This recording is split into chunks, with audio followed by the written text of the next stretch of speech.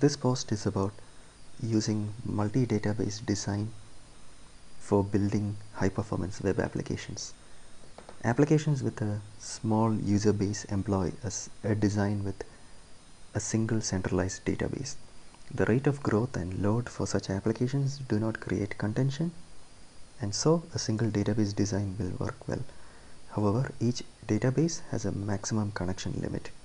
For example, PostgreSQL is good for a few hundred connections, but for thousands of connections, it would be better to look at a connection pooling solution as mentioned in their wiki pages. Caching and database connection pooling can be utilized to postpone hitting the limit.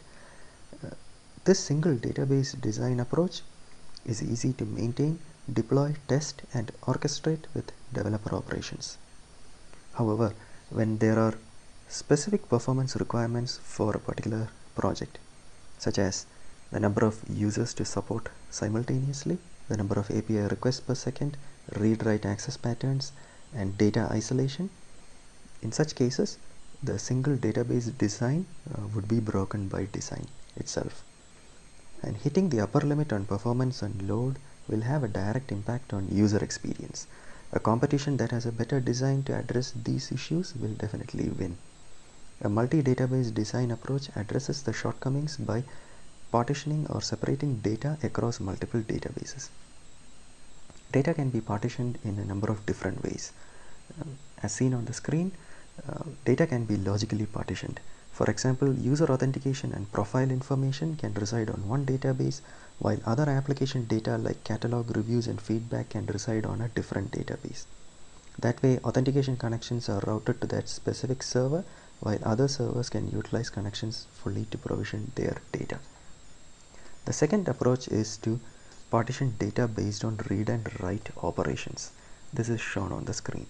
All writes will go to one database and this database will be periodically replicated to a secondary database and the secondary read-only database is will provision the data to clients. Uh, this is particularly useful uh, when the data access pattern is unique.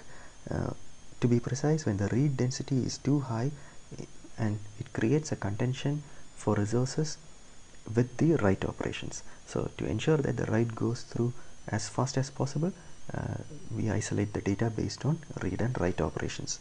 This particular approach can be combined with app level isolation also as we have just seen. The third approach is to use dedicated databases for different uh, regions or geographies. Uh, as we see on the screen, uh, the data from users or um, location specific information from New South Wales will be stored in one particular database and data generated from uh, Victoria will be stored in uh, a specific database uh, and Western Australia and others on a separate database. that way um, there is isolation based on geography. this is particularly useful where load differs based on geography, the data size also differs based on location and the rate at which the data grows and the number of users for each of the location also differs based on the location. That's where this particular design will help. Uh, the one advantage of this particular design is that each particular uh, database uh, can be configured uh, for efficient allocation of resources for that particular uh, geography's access patterns. So Django supports uh, multiple databases um, itself uh, in this particular application, uh, we visualize data uh, from an online gaming platform.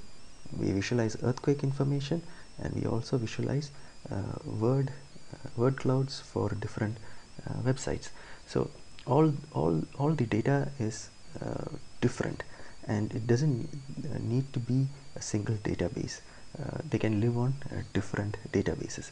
For example, the online gaming platform Dota 2 uh, provisions data over uh, REST APIs publicly and this data is brought in into the server and stored locally on a database and shown on the screen.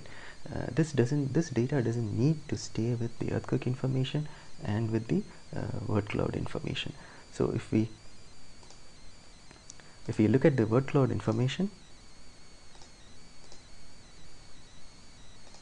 and we look at the Debian uh, news uh, web page, uh, it will bring in the information and store it locally onto the database. The same for earthquake information where we show the earthquake stat earthquake information from USGS website and this data is also uh, provisioned uh, openly over REST APIs which are brought in and stored locally uh, into a, a, local database server.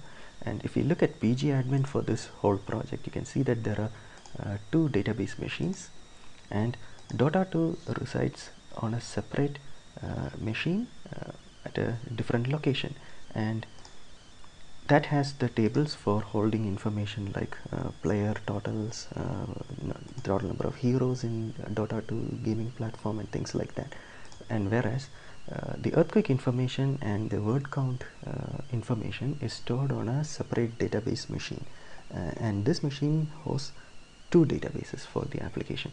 So this is a good example where uh, two, two locations are used for holding the information and one location has got multiple database in it within the same project so uh, Django supports this by default uh, through a concept known as uh, database routers where you define uh, the read write uh, databases for each of your queries and applications. So these are consulted the database routers are consulted one by one to decide which database the query should be routed to. And all the routers are listed in uh, a configuration known as database routers within the settings file and you also need to define your databases in advance. So in this particular example we can see that there is a main database uh, which is the one that we saw just now which holds the word count information. And there is a database for earthquake information. These two reside on the same machine. And the Dota 2 application for which data grows at a faster rate as we use the application again and again uh, is stored on a separate machine with a dedicated database. So uh, that's how uh, applications are designed for uh, high performance uh, using uh, multiple databases